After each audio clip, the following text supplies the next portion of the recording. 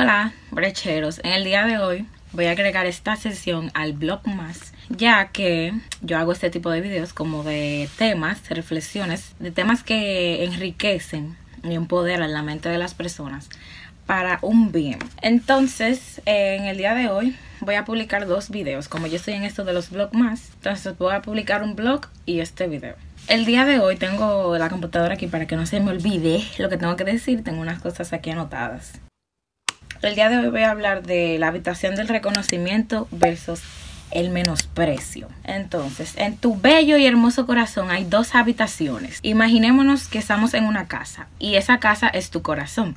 Entonces, hay una habitación de reconocimiento y hay otra habitación de menosprecio. Una de ellas es la habitación del reconocimiento y vamos a empezar por la habitación del reconocimiento. En la habitación del reconocimiento guardas cualidades, palabras y frases sobre esa persona. Están escritas en las paredes de esa habitación en grande, tales como qué buen sentido del humor tiene, qué linda sonrisa, hermosos ojos. Esta persona es Mr. Empatía o Miss Empatía y qué bien trata a los demás son cualidades que se graban en tu memoria con respecto a esa persona. Es probable que la mayoría de estas frases que están escritas en las paredes se hayan puesto ahí al principio de esa relación. Mientras más meditas estos atributos positivos de estas personas, cualquier persona puede ser, puede ser tu cónyuge, tu madre, tu hermano, tu amigo, tu abuela, tu abuelo, tu tío, tu primo. este, mientras más tú practiques estos atributos, más agradecido tú vas a estar con esta persona. Si ya estás casado y sientes que tú ya no visitas constantemente esta habitación, especialmente con la frecuencia de antes. Esto se debe de que hay otra habitación que es la del menosprecio, que por desgracia vamos mucho allí. Aquí se guardan escritos en las paredes de todo lo que te molesta sobre esta persona.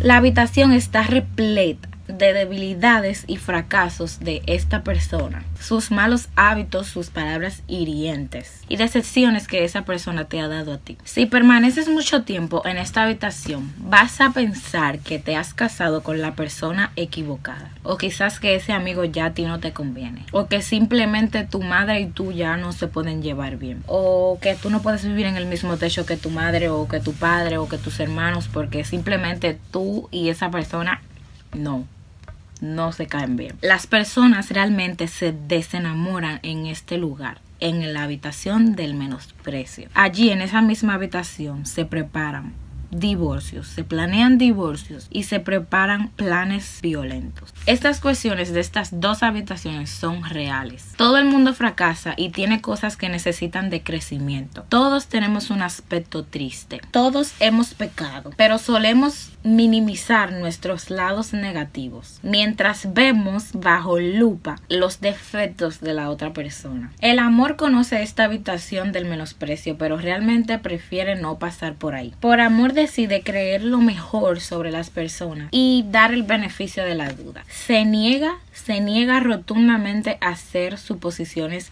negativas. Es hora de pensar de otra manera. Dejar que el amor guíe nuestros caminos. La única razón para mirar esta habitación del menosprecio es para rezar por esta persona. Y el día de hoy te voy a dejar con esta frase. Pensar con amor, amar con inteligencia.